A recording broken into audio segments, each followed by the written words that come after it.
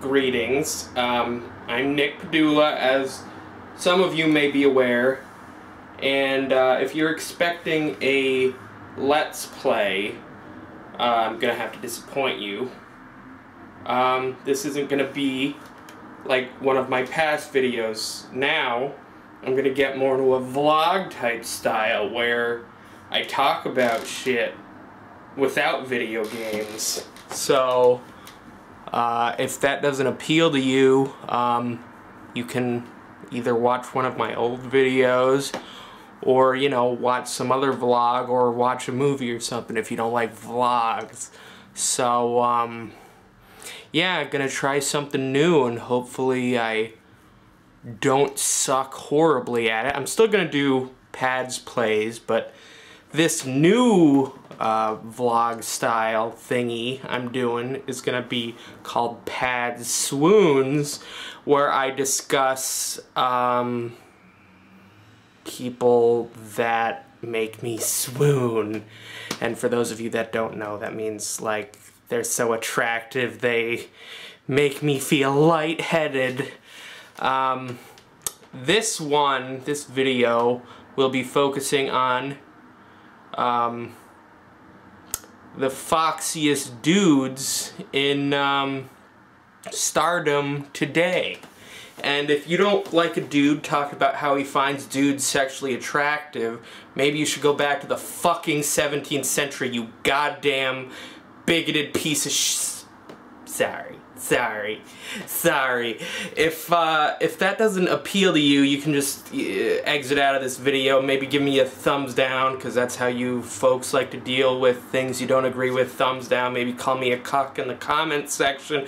Call me a queer mosexual in the comments section. Whatever helps you feel better about yourself, champ. Anyway, um, yeah, let's talk about dudes who are attractive.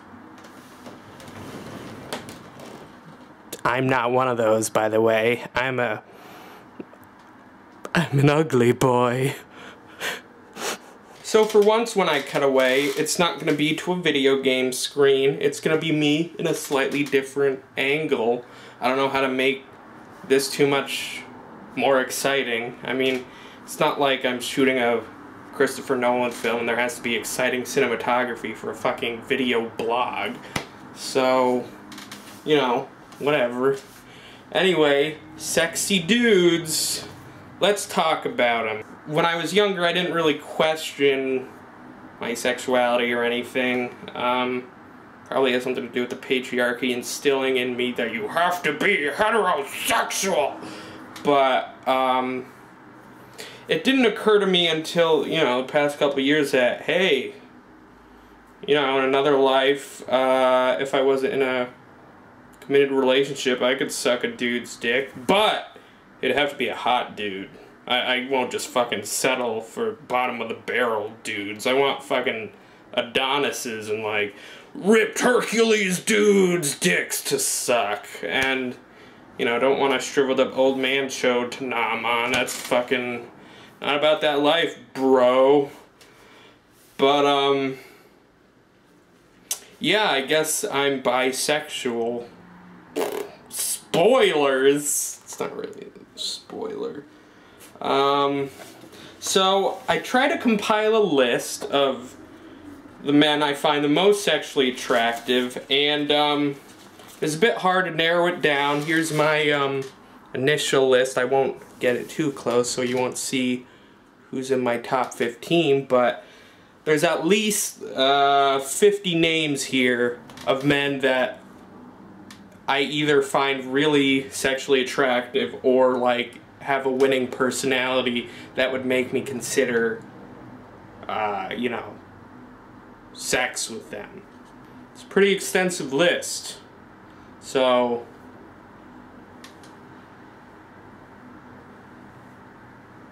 I don't know. Um, but I bet y'all want to hear my top 15 foxy dudes, right? Yeah? Yeah, you do? Alright, let's get into it then, shall we? Yeah, let, we shall. Ahem. Ahem. him. Oh, I passed it. Number 15 is Oscar Isaac, who has been in such films as Star Wars The Force Awakens as Poe Dameron. That that film is when I had an idea that uh, hey, that fella He's a, he's a handsome fella. Actually, no, it was before that. It was the Coen Brothers film Inside Llewyn Davis. Not that kind of inside, fellas. Get your head out of the gutter.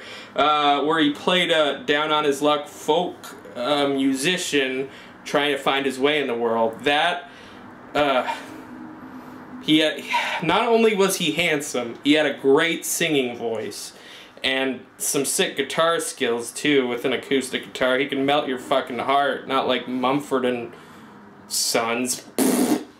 Lame. Um, but yeah, um, there's those two. What else has he been in? Um, a Most Violent Year, I think that was with Jessica Chastain who's a pretty lady, but we're not here to talk about pretty ladies. We're here to talk about pretty men. Um, and he's been in other shit too that's not occurring to me right now. But anyways, just because he's number 15 and it's at the bottom of the list doesn't mean I think anyone's really above him technically. I like, I think a lot of these guys, uh, can be pretty similar to me in terms of attractiveness. Uh, it's just I had to come up with a ranking system. I didn't want to just list things randomly. So this is the best way I thought to do it. So it says number 15, but in my heart, they're all number 1.